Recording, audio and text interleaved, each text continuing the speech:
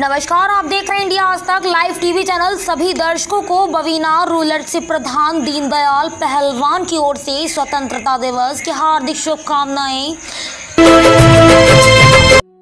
क्या नाम है आपका? मेरा नाम दीनदयाल पहलवान। किस गाँव से हैं? प्रधान है आप?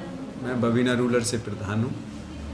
पंद्रह अगस्त के उपलक्ष्य पर आप जनता से क्या संदेश देना चाहेंगे?